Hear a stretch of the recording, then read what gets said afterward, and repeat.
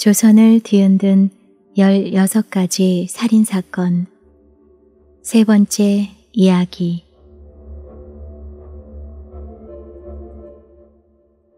빚을 갚지 못해 목숨을 잃다. 조선시대 사채 사건 조선시대에도 지금의 사채업인 대금업이 성행했다. 재상의 벼슬에 있는 사람이 사채놀이를 하다가 탄핵을 받는가 하면 채무자가 도망을 가자 그 아내를 잡아다가 사서로의 옥에 가둬놓고 한 달 반이나 채찍질을 해 죽인 사건도 있다. 숙종 3년 12월 한양성 밖에 목을 메어 자살한 것처럼 위장한 여인의 사체가 발견되었다. 포도청에서 조사를 해보니 사체 때문에 일어난 사건이었다. 조선시대의 사체는 양반들이 터무니없는 조건을 내세워 타막하는 수단으로 이용되어 여러 가지 병폐를 낳았다. 돈을 갚지 못하면 토지를 빼앗거나 가족을 노비로 삼았으므로 사회 문제가 될 수밖에 없는 구조였다. 특히 이러한 사채 제도는 조선 말에 이르면 소장 문제와 함께 백성들을 유민으로 만드는 결정적인 요소가 되었다.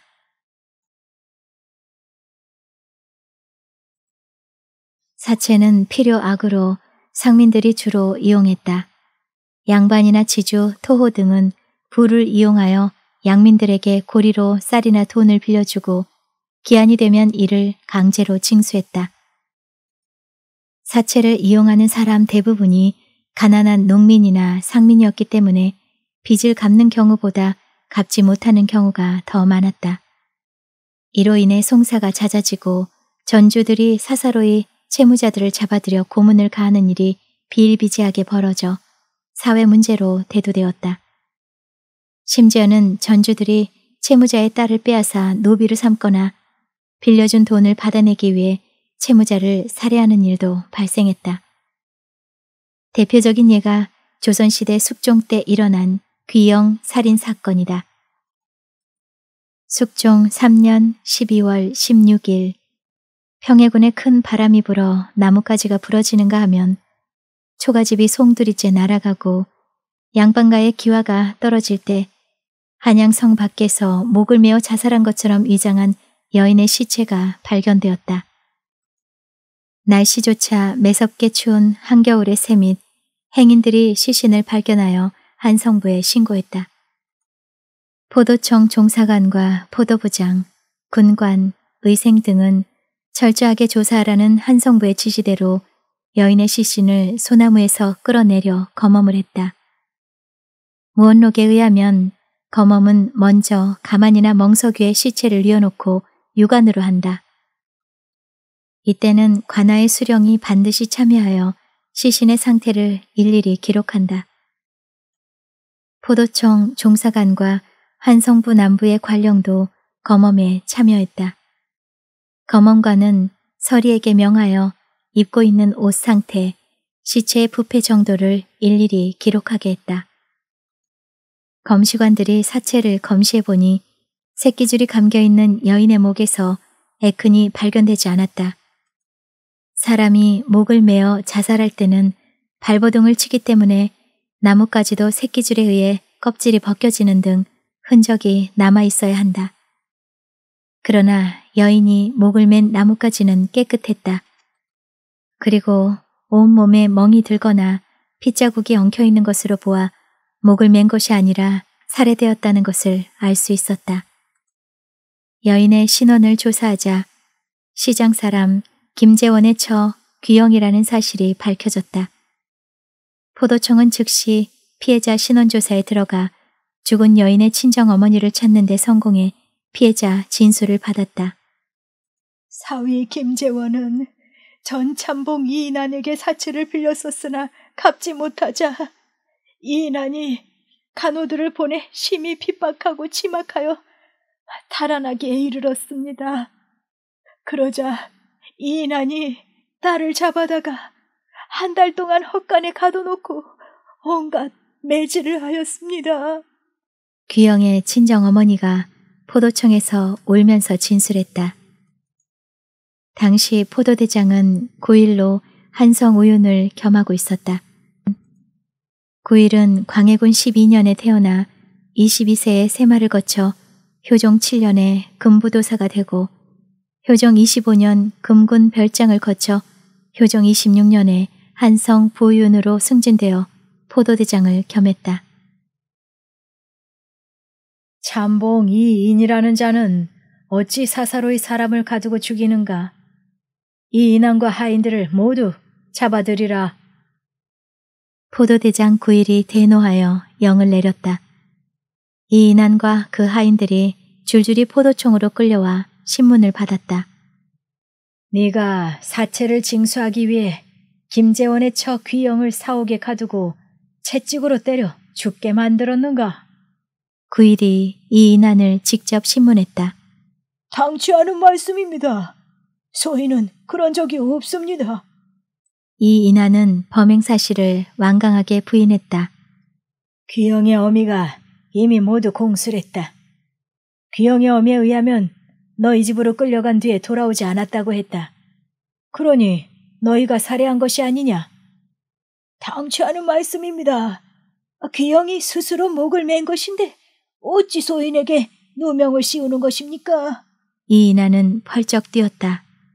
스스로 목을 매달았다니 당치 않다. 검험을 통해 그 증거가 낱낱이 드러났다. 종사관은 시체를 검안한 증명서를 가져와서 읽으라. 9일에 벼락을 치는 듯한 호통에 포도총 종사관이 시장을 가져와서 읽기 시작했다.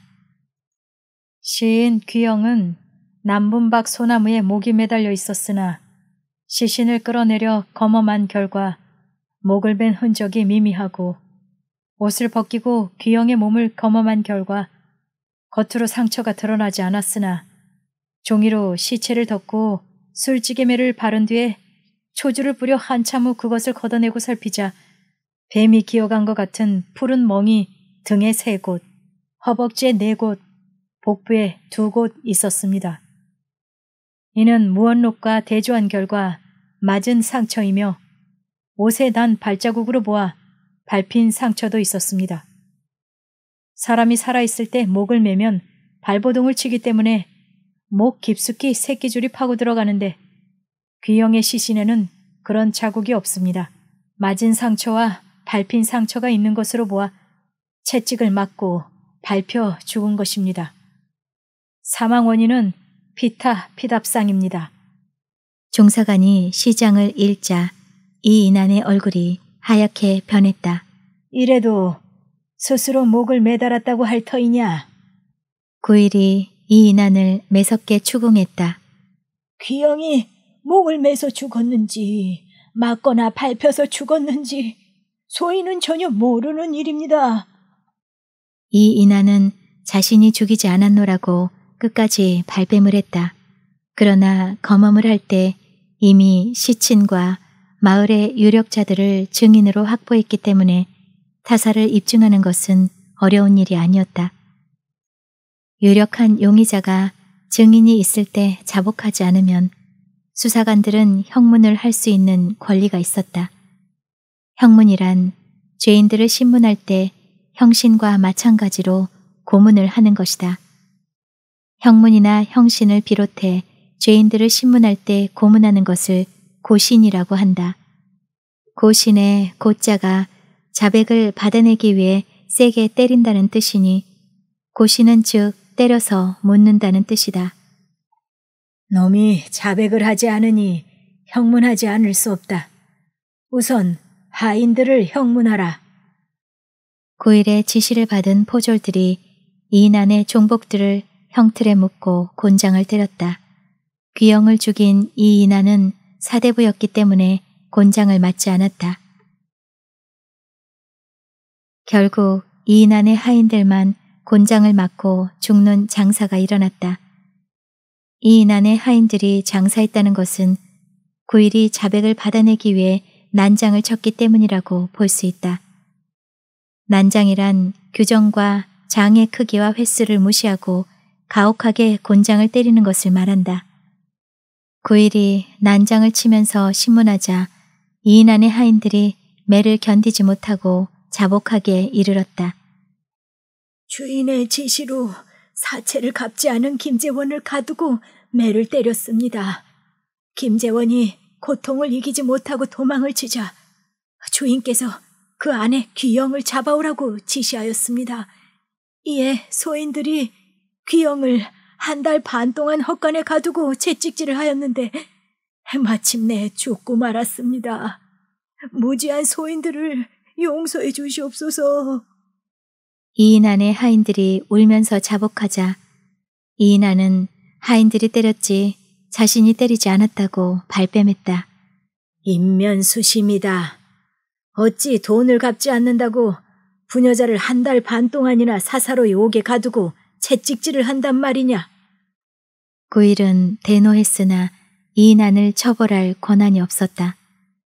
보도청에서 형조의 계사를 올리고 형조에서 이를 숙종에게 보고함으로써 어전에서 이인안의 처벌에 대한 논의가 이루어졌다.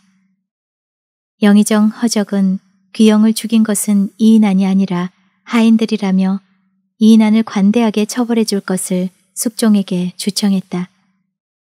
이에 좌의정 권대운이 사사로이 사람을 죽였으니 중형에 처해야 한다고 반대했으나 숙종은 듣지 않았다. 형조에서는 이인안의 죄를 위핍 치사율로 의논하여 장 100대 은 열량으로 속량을 결정했다. 위핍 치사율은 공포를 가해 죽게 만들었다는 기이한 죄목인데 은 열량을 바치면 죄를 사해준다는 것이었다. 이에 사원부에서는 일제히 반대하고 나섰다. 조정의 논의가 다시 분분해지자 영의정 허적이 마침내 귀양 보낼 것을 청해 참봉 이인하는 귀양을 가게 되었다. 사체 동결령 귀영 살인사건에서 보듯이 사체는 서민들을 올린다. 사체에 대한 이야기는 세종이 즉위하던 해에 처음 조선 왕조실록에 등장한다. 무릇 백성의 삶은 하루에 두 번 먹지 않으면 배고프고 1년 동안 옷을 짓지 않으면 헐벗게 됩니다. 이제 우리나라의 백성들은 수제나 한제를 만나기만 하면 오직 광가의 구제를 우러러 바라서 살 길을 얻게 되오니 전날 남에게 빚진 것을 어느 여가에 갚겠습니까? 신등이 원하옵기는 풍년이 들기까지로 한정하고 무릇 중해의 인민이 진 빚과 천인의 역가는 오래된 것이나 근자의 것은 물론 거두거나 받아들이지 못하도록 일체 언금하여 민생을 편안하게 해주소서. 사원부에서 소위 사체 동결령을 주장하고 나선 것이다. 이에 세종은 모든 민간의 사체 및 신역을 풍년이 들 때까지 거두지 말라고 명하였다. 세조 14년 2월 23일 비인년 사람 황을만이 전 군사 홍성광에게 빌린 사체를 갚지 못하니 아들 홍약이가 황을만을 구타하여 죽이고 도망가자 충청도 관찰사 안철손이 아뢰어 체포해 줄 것을 청하니 세조가 의금부 진무 이종산을 경도에 보내 수색하여 잡게 했다. 성종 3년 9월 9일 검토관 성현이 사체의 피해를 아뢰었다. 무지한 백성은 사체를 빌려 써서 해마다 이식을 취하게 되므로 마침내는 있을 곳마저 잃게 되어 강한 자는 도둑이 되고 약한 자는 이산하여 열 집에서 아홉 집은 비게 되니 진실로 가탄할 일입니다. 하물며 금년은 태풍의 피해로 나라에서 부득이 창고에 곡식을 내어 진구해야 할 터인데 수년 동안 계속된 흉년에서 벗어나려면 장차 무엇을 공급하겠나이까. 신의 생각으로는 옛 한전의 법에 의하여 백성의 토지 결부를 정하여 제한을 지나지 않게 하며 사체도 또한 몇 석을 정하여 의창의 수를 넘을 수 없게 하고 만일 전지나 재물을 빼앗는 자가 있으면 강도에 의거해 논단한다면 가난한 백성은 생업에 안전할 것이요 부실은 호사하고 행포할 수 없게 될 것입니다. 조선시대에 사체 피해가 컸다는 사실을 실록의 기록으로도 알 수 있다. 그러나 사체는 양반이라는 지배층을 보호하기 위해 허용되고 있었고 대부분의 양반이 이를 바탕으로 재산을 늘려갔다. 사채는 나라가 비축한 곡식을 가난한 농민들에게 빌려주고 추수할 때 이자 없이 받는 황곡과 양반이나 토호들이 중군기에 농민이나 장사치에게 곡식과 돈을 빌려주고 약정한 기한 내에 이를 환수하는 문자 그대로의 사채로 대별된다. 그러나 황곡 제도는 가난한 농민들을 구제하기 위한 목적으로 만들어졌으나 이를 대여하고 징수하는 수령들이 터무니없는 조건을 내세워 타막하는 도구로 이용해 여러 가지 병폐가 발생했다. 양반이나 토호들이 상민들에게 빌려주는 사치의 이자는 연 1에서 2할이었으나 나중에는 5할까지 치솟아 현대의 사채 이자와 거의 다를 바가 없었다. 이에 조정에서는 사채 이자의 상한선을 2할로 못 받기도 하고 흉년에는 사채 동결령을 내리기도 했다. 현재 우리나라의 대금업법에 의하면 사채이자 최고 한도가 연 6할에 이르는 것을 감안할 때 현대 법이 조선시대 법만도 못하다고 할 수 있다. 정조시대의 사채 사건 정조시대의 옥사를 기록한 심리록에도 사채로 인한 살인사건이 자주 등장한다. 인동에 사는 김성함이라는 사람이 사채를 갚지 않는다고 채권자가 몽둥이로 때려 10일 만에 죽게 만든 사건이 있었다. 검험을 하자 볼기와 넓적다리에 몽둥이로 맞은 상처가 있고 피가 맺히고 딱딱했다. 사인은 얻어맞은 것이었다. 성종 10년 5월 27일에는 사채 때문에 대사원 박숙진이 정승 윤필상을 탄핵한 일도 있었다. 윤필상의 집에서 의군부에 나장을 시켜 사체를 독촉하여 받아들이다가 살인까지 이르게 하였습니다. 의군부를 왕부라고 하는데 그 아문의 나장은 다만 규정대로 행할 따름이거늘 어찌 사사로이 부릴 수가 있겠습니까? 당시 윤필상이 비록 중국에 들어갔다고 하더라도 반드시 가장이 있었을 것인데 청컨대 이를 죄 주게 하소서.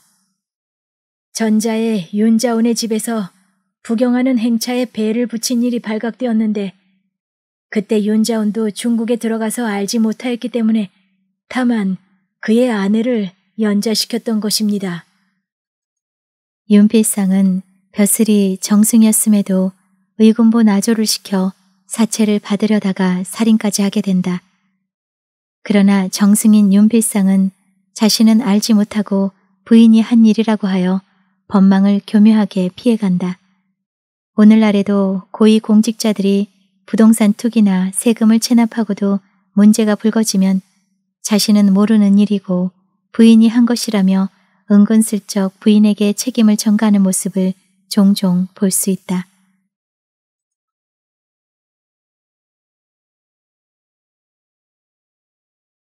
영의정 아들의 파렴치한 범죄 부녀자 납치 사건 숙종조에 영의정을 지낸 허적에게는 허견이라는 서자가 있었다. 허견은 아버지 허적의 위세를 믿고 여러 가지 폐악을 저질렀는데 그 중 하나가 부녀자를 납치하여 희롱한 사건이다. 그 여인은 이동규의 딸 이차옥으로 서억만의 아내였다.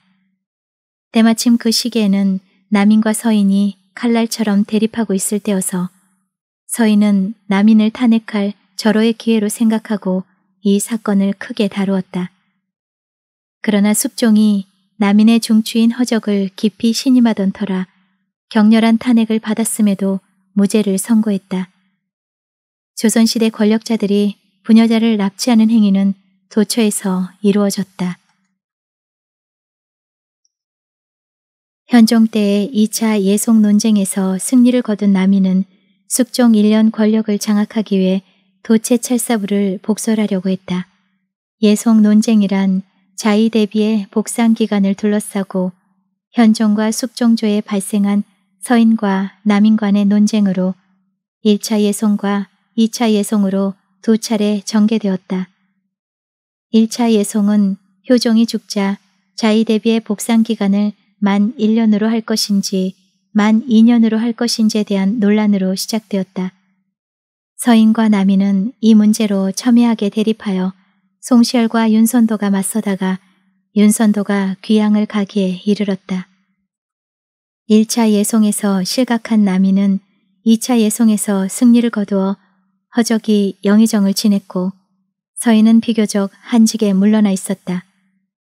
이때 서인인 김석주는 남인의 영수인 허적을 탄핵할 준비를 하고 있었는데 한성부 좌윤 남구만이 허견의 부녀자 납치 사건을 가지고 숙종에게 상소를 올렸다. 남의 아내를 빼앗은 사건이 발각되어 형주와 포도청에서 추액해보니 허견이 빼앗은 이동기의 딸 이차옥은 서억만의 아내였습니다. 그러나 이 사건은 허적의 압력을 받고 실없이 종결되었습니다. 남구만은 현 영의정의 서자 허견을 탄핵했을 뿐 아니라 영의정이 압력을 넣었다고 노골적으로 비난했다. 남인을 탄핵할 절호의 기회를 맞이한 병조판서 김석주도 아뢰었다. 남의 재물을 훔친 자를 도둑이라고 말합니다. 남의 부녀자를 빼앗은 자는 도둑 중에서도 가장 흉악한 도둑이니 마땅히 포도청에서 엄중하게 조사하여 다스리도록 하소서. 부녀자 납치는 인륜을 파괴하는 행위다. 포도대장은 지위고하를 막론하고 철저하게 조사하라. 숙종은 포도대장 구일에게 영을 내려 사건을 철저히 조사하라고 지시했다. 이에 구일이 이번 사건의 피해자인 이동규의 노비들을 불러다가 추문했다. 박목교 근처 이씨 집에서 술자리를 차리고 맞았는데 차옥이 날이 저물어 집으로 돌아가는 길에 납치되었습니다. 납치한 자는 바로 허견입니다. 이동규의 종 등민이 공술했다. 너는 이 차옥이 납치되는 것을 보았느냐? 구일은 여종 숙지에게도 진술을 받았다. 이동규의 서족이 차옥을 맞이하고 그 또한 차옥을 따라가는데 저물역에 어떤 사람이 안장을 얹지 않은 말 한 피를 몰고 와서 급히 이르기를 서동지 아내가 갑자기 병이 위독해졌는데 마침 집 안에는 심부름할 사람이 없어 나에게 마중을 부탁했다. 고 하였습니다.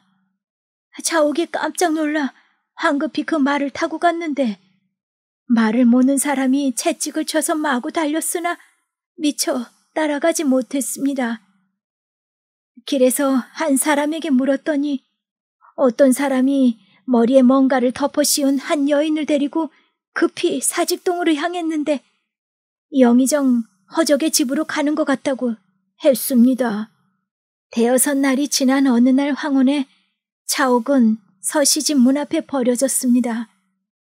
이동기 등이 데리고 와서 그간의 사정을 물으니 사직동 오른쪽에 있는 한 집으로 갔는데 집이 높다랗고 크며 마당이 널찍하였다고 했습니다. 여종 숙지의 말을 들은 구일은 탄식했다. 이차옥은 영의정 허적의 서자 허견에게 납치된 것이 틀림없었다. 그러나 당대의 세력가인 영의정의 아들이었기 때문에 쉽사리 조사를 할 수 없었다. 이차옥은 허견의 종들에게 납치되어 5, 6일 만에 성만의 집 문 앞에 버려졌다. 5, 6일 만에 풀려났으니 그간 무슨 일을 당했을지 짐작이 갔다. 그러나 본인들이 사실을 밝히지 않는 한 간음을 했는지 강간을 했는지 함부로 취조할 수가 없었다. 사대부가의 부인인 이차옥이 정조를 유린당했다면 범인들은 둘째치고 그녀도 온전하지 못할 것이기 때문이다. 이동기의 가문은 물론 서옥만의 가문으로서도 수치스러운 일로 방가로서 행세할 수가 없게 되는 것이다.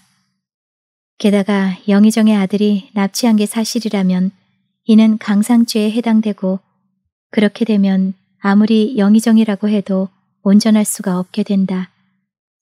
강상죄는 삼강오륜을 위배한 죄를 말하는 것으로 삼강은 군의신강, 부의자강, 부의부강을 일컫고 오륜은 군신유의, 부자유친, 부부유별, 장유유서, 붕우유신을 일컫는다. 부모나 남편을 죽이거나 노비가 주인을 죽이거나 또는 관노가 관장을 죽인 경우 강상죄로 다스렸는데 당사자는 사형에 처하고 처자는 노비로 삼고 죄인의 집은 헐어서 다른 사람들이 살지 못하도록 연못을 팠다. 뿐만 아니라 그 고을까지 책임을 물어 고을의 호칭이 격화되고 고을의 수령은 파면을 당했다. 영의정의 아들을 신문하라. 9일은 영의정의 아들이 사건에 연루되자 고민에 빠졌다. 그렇잖아도 무반을 업신여기는 사대부들이 임금의 총애를 받고 있는 허적에게 잘 보이기 위해 걸핏하면 구일을 탄핵하고 있었던 것이다. 포도대장 구일은 이동규의 종들을 조사한 뒤에 숙종에게 보고서를 올렸다. 숙종은 다시 안장을 얹지 않은 말을 몰고 온 사람을 연행하여 신문하라는 영을 내렸다. 전하께서 영을 내리셨으니 의심스러운 자를 잡아오라. 포도대장 9일이 포도청 종사관들에게 명령했다. 종사관들이 포졸들을 이끌고 이차옥이 납치되었던 박목교 인근에서 샅샅이 탐문 수사를 하기 시작했다. 그 결과 안장을 얹지 않은 말을 타고 다니는 자가 허적의 서자 허견의 종인 순기라는 사실이 밝혀졌다. 종사관들은 포졸들을 거느리고 사직동 허적의 집으로 달려갔다. 그러나 영의정 허적의 집에서는 허견의 종 순기를 선뜻 내보내지 않았다. 죄인을 내놓으시오. 포도청 종사관들이 호통을 쳤다. 이놈들아 여기가 뉘 댁인 줄 알고 와서 호통을 치느냐? 여기는 영의정 대감의 댁이다. 허적의 종들이 오히려 포도청 종사관들에게 호통을 쳤다. 종사관들은 입장이 난처해졌다. 죄인을 검거하기 위해서는 허적의 집에 들어가야 한다. 그러나 임금이 총애하는 영의정의 집이니 함부로 들어갈 수가 없었다. 포도청 종사관들은 포도대장 구일에게 이 사실을 보고했다. 영의정의 집에서 어찌 죄인을 숨겨준단 말이냐. 영의정의 집에 들어갈 수 없으니 범인이 나오면 즉시 체포하라. 9일은 포도청 종사관들을 동원하여 여러 날 동안 허적의 집을 감시했다. 한편으로는 이차옥을 불러다가 자세하게 조사했다. 9일은 이차옥이 조사를 받을 때 수치스러움을 느끼지 않도록 다모를 동원했다. 9일이 다모를 동원하여 이차옥을 조사하고 있을 때 남이는 서인이 자신들을 공격하는 것으로 여겼다. 남이는 허적의 집에 모여 숨가쁘게 대책회의를 열었다. 다모는 이차옥이 수치심을 느끼지 않도록 조심하면서 허견의 집에 끌려간 일을 낱낱이 조사했다. 이차옥은 좀처럼 다모의 신문에 응하지 않았으나 정황을 사실대로 말하지 않으면 포도청에서 형신을 당할 수도 있다고 추궁하자 마침내 피눈물을 흘리면서 허견에게 끌려가 음행당한 일을 낱낱이 고했다. 허견의 무도함을 어찌 용서할 수 있겠는가? 부녀자를 납치하여 짐승 같은 짓을 저지르고 5, 6일 만에 문 밖에 버렸으니 인면수심이라고밖에 할 수 없다. 허견의 죄를 반드시 밝혀내라. 고일이 종사관들에게 영을 내렸다. 그러나 허적의 집에서 대책회의를 연 좌의정 권대웅과 우의정 민희 등이 숙종에게 차자를 올렸다. 요즘 남의 아내나 접을 빼앗는다는 이야기가 한간에 퍼지고 있습니다. 세도가 크게 무너져 와전된 말이 날마다 꼬리에 꼬리를 물고 일어납니다. 전에도 마음과 귀를 깜짝 놀라게 하는 일들이 한두 번이 아니었으나 끝내는 사실 무근으로 밝혀져 자연히 소멸된 적이 많았습니다. 포도청이 주관하는 일은 도둑을 다스리는 것이며 가늠한 죄나 속이는 죄는 말할 것도 없이 법조에서 다스리는 것이 당연합니다. 권대웅과 민희는 은근하게 남인이 장악하고 있는 형조나 의금부에서 이들을 신문해야 한다고 주장했다. 허적은 이동규와 서옥만이 모두 양반이었기 때문에 형조에서 조사하라는 영을 내렸다. 이차옥 납치 사건은 이동기 등을 형조에서 조사하고 포도청은 이동규의 종들을 신문하는 것밖에 할 수 없었다. 숙종은 옥사가 따로따로 심리되어 있다는 사실을 알고는 불쾌감을 드러냈다. 아, 인심과 세도가 날로 간악해져 대낮에 이와 같은 사건이 일어났으니 개탄스러운 일이로다. 그런데 해조에서는 공연히 사사로운 마음을 품고 되풀이해서 엄하게 조사하는 조치를 끝내 취하지 않으니 지극히 놀랍다. 사건을 포도청으로 이송하여 남김없이 실정을 받아냈으니 이로 미루어 형조에서 허술하게 다루었다는 사실을 알 수 있다. 이동기가 비록 목과 출신이기는 하지만 이렇게 막대한 옥사를 따로따로 신문하다가는 사실을 밝혀내기 어려우니 곧 포도청에서 그들 모두에게 자복을 받아낸 뒤에 형조로 이송해도 늦지 않다. 숙종은 포도청에 엄중하게 조사하라는 왕명을 내렸다. 그러나 서인과 남인이 팽팽하게 대립하여 이동기 등은 남인이 장악하고 있는 의금부에서 가혹한 조사를 받았다. 이에 이동기를 비롯하여 사건의 증인들은 의금부에서 포도대장의 꿰매 거짓으로 자복했다고 진술을 번복했다. 반이 금부사 오시수 등이 아뢰었다. 여러 사람들이 말을 둘러대니 진실로 형신을 청해야 마땅하겠지만 포도청이 행한 혹독한 형벌로 중상을 입고 넋을 잃었으니 우선 형신을 시행하지 마시고 허견부터 잡아 신문하소서. 오시수는 허견을 잡아들이자고 숙종에게 아뢰었다. 그러나 숙종은 포도청에서 혹독한 고문을 했다는 말 때문에 허견을 잡아들일 필요가 없다고 영을 내렸다.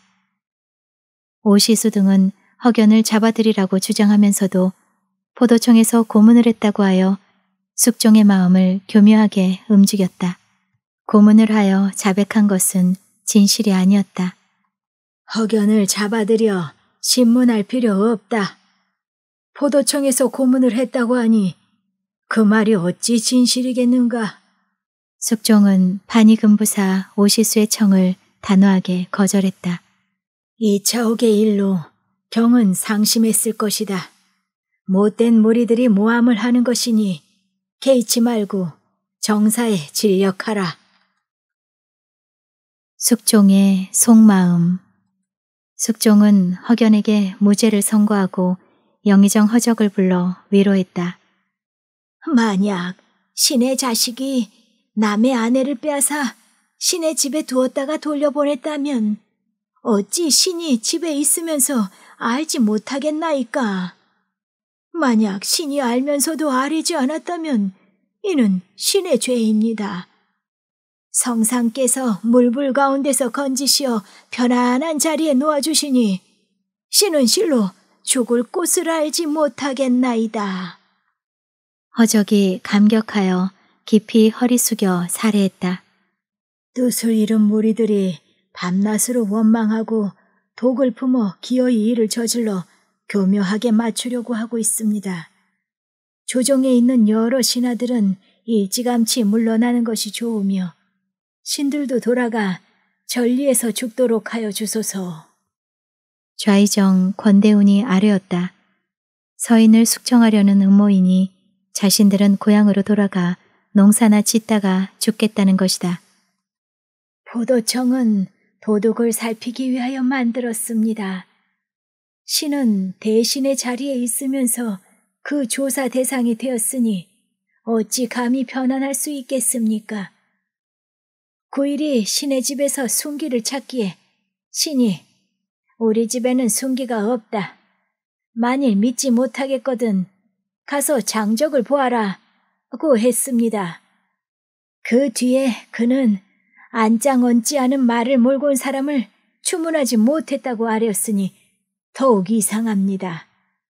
신이 아무리 보잘 것 없지만 어찌 감히 속이겠나이까. 허적이 다시 아뢰었다.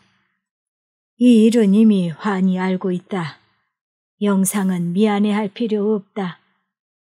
남구만이 을며 연간에 상소를 올려 대신을 속이고 말한 내용이 불미스러웠지만 티를 씻고 수용한 것은 그가 마음의 혁신을 도모할 것을 바라고 한 일이었다. 좌윤 벼슬이 제수되자 부모의 병 때문에 내려갔는데 이내 이런 소를 올린 것은 마음씀이 비뚤어졌으며 속마음이 이미 드러난 것이다. 좌윤 남구만을 멀리 유배 보내라. 숙종은 오히려 허적을 위로하고 상소를 올린 남구만을 유배 보내라는 영을 내렸다. 허적은 좀스러운 작은 그릇으로 본시 학식이라고는 없는데 자신이 영상의 자리에 있으면서 임금에게 아부하였다. 서자를 지나치게 사랑하였는데 부도한 행동을 하고 남의 아내를 빼앗는 것은 다만 여사일 뿐이었으므로 말썽이 자자하여 열 손으로도 가리기 어려웠다. 남구만은 마침내 허망한 일에 죄를 입어 먼 곳으로 유배되었는데 허적과 허견은 탈 없이 여전하니 형벌을 적용함이 이렇게 전도되었는가. 허적은 임금 지척에서도 임금을 속이고 숨기는 일을 해냈으며 건대운 역시 사실 무근인 말로 무죄를 동지함으로써 임금을 속이는 죄가에 함께 돌아가게 되었으니 아, 동분하다. 조선왕조실록을 기록하는 사신이 통탄하는 글을 남겼다. 의군부에서는 숙종의 의중을 파악하고 이에 영합하는 조사 보고서를 올렸다. 의군부에서 올린 보고서를 본 숙종이 판결문을 내렸다. 보도청에서 깨어 거짓 자백을 받은 것이 뻔하다. 차옥의 시고모가 죽음으로 원통함을 하소연한 것도 바로 이 옥사의 분명한 증거다. 9일은 포도대장의 신분으로 막중한 옥사를 최대한 꼼꼼하고 조심성 있게 다루었어야 했는데 오히려 중요한 것은 대충대충 지나갔을 뿐 아니라 묻지 않은 것은 일찍이 들었다고 했으며 허견이 부른 바는 조작하여 허명으로 만들고 정승의 집을 몰래 살폈다. 재통이 비록 무너졌다고 하지만 멸시하기를 감히 그렇게까지 하는가? 심지어 대신의 노복들을 아울러 다 주문했는데 계목 가운데 안짱 얹지 않은 말을 몰고 온 노자들을 차례로 주문했다는 말을 썼으니 위에 속여 보고한 것이 더욱 놀랄 일이다. 우선 9일부터 먼저 잡아 문초하여 죄를 정하고 허견을 비롯해 갇혀있는 자들을 방송하라. 또 포도청 종사관과 하인 중 죄인을 꿰인 자는 각각 순차로 논죄하라. 가해자 허견은 숙종의 영에 의해 석방되었다. 허견은 정승의 아들이었던 까닭에 밖에서 이리저리 수단을 써서 미봉하고 판이 금부사 오시수 등이 은근히 협조하여 드디어 반옥하기에 이르러 양식 있는 사람들이 곁눈질을 했다고 실록은 전하고 있다. 지평 윤희재가 숙종에게 아뢰었다. 옥사를 다스리는 채통은 10분 분명하고 신중해야 합니다. 만약 없는 죄를 그럴싸하게 꾸미고 교묘하게 현혹시킨다면 이야말로 간인의 수단입니다.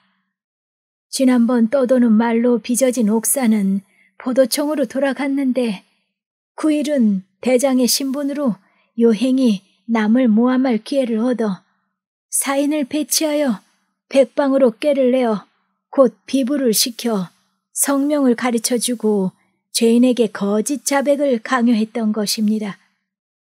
이러한 의도를 신복에게 은밀히 지시하고 위협도 하고 꾀기도 하여 전혀 근거 없는 이야기를 만들어냈습니다. 심지어 이름 없는 종을 잡아오고 병조를 풀어 정승의 집을 몰래 살피게 하였으니 이는 실로 전에 없던 배려한 짓거리입니다. 그 의도가 어찌 하찮은 허견 하나 때문에 나왔겠습니까? 가벼운 벌을 주는 것은 도저히 옳지 않으니 먼 변방으로 내치소서. 숙종은 지평 윤희제의 상소를 받아들여 구일을 유배 보냈다. 남구만과 포도대장 구일이 귀양을 가게 되자 실제 피해자인 이차옥은 원통하여 피눈물을 흘렸다. 담부사 허목이 아뢰었다. 허견의 일은 남구만의 상소로 일이 비로소 발로 되기는 하였으나 그 아비 영의정 허적은 비호하고 덮어버려서 남구만은 귀양 가고 허견은 끝내 무사하니 인심이 더욱 나빠지고 있습니다.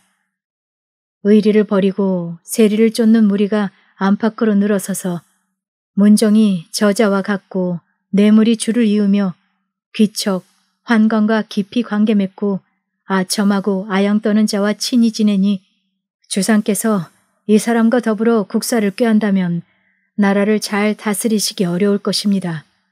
바라건대 전하께서는 잘 살피소서. 허목이 영의정 허적을 다시 탄핵했다.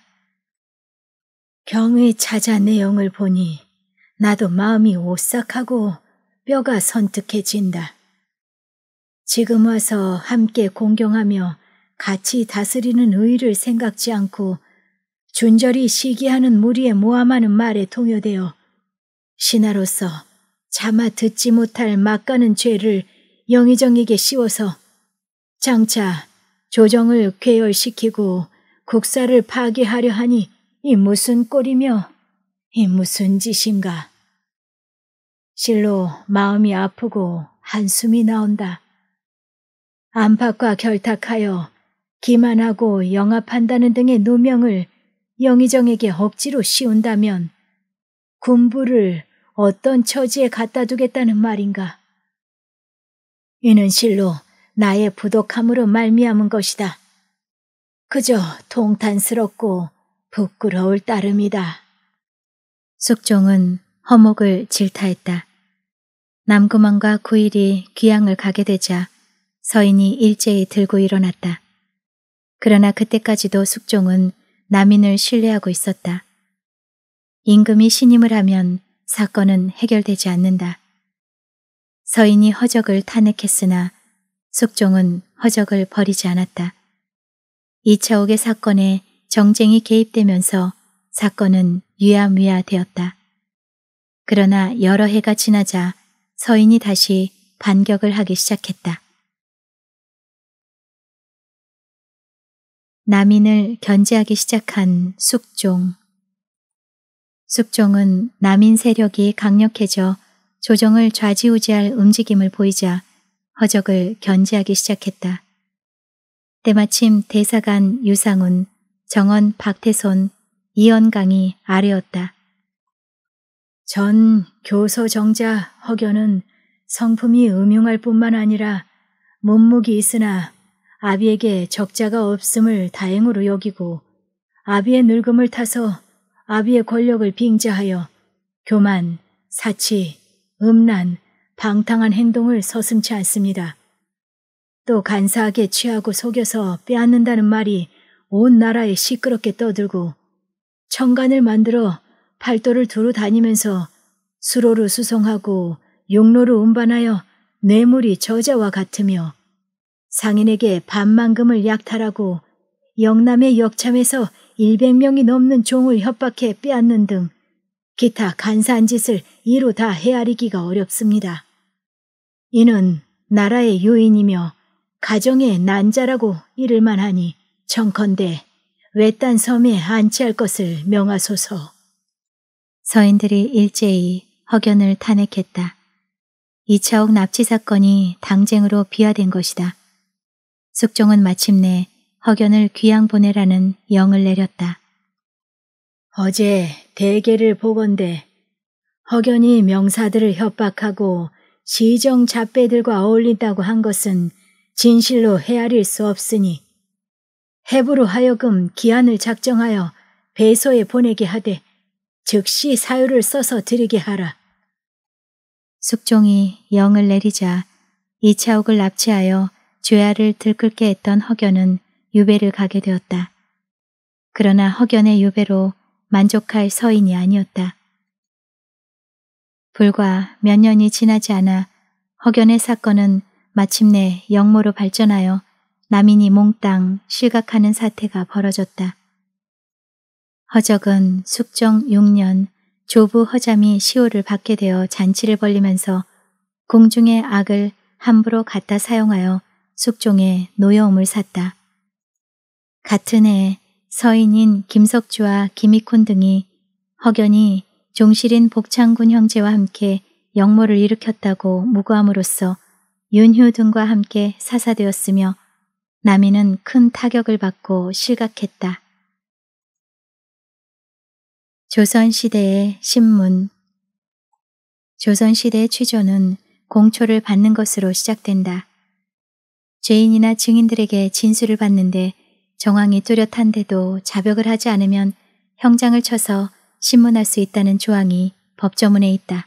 그러나 이 조항이 종종 악용되어 하루에 때릴 수 있는 곤장의 수를 넘기기도 하고 난장을 때리기도 하여 포악한 수령에게 걸리면 곤장을 맞다가 죽는 경우도 덜어 있었다.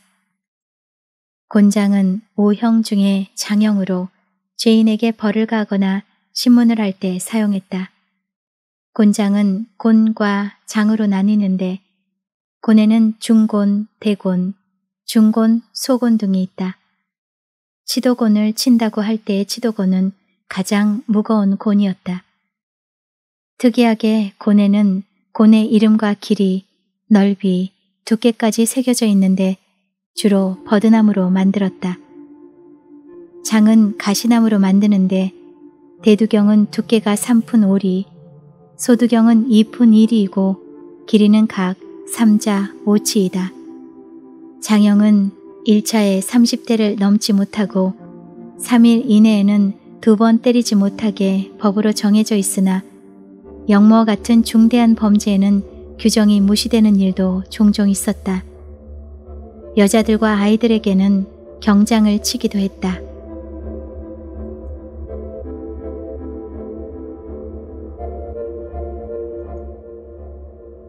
이렇게 네 번째, 다섯 번째 사건을 낭독해 드렸는데요.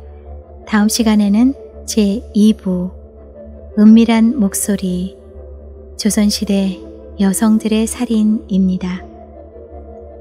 오늘도 편안히 머무셨길 희망하고요. 저는 또 다음 시간에 찾아뵐게요. 감사합니다.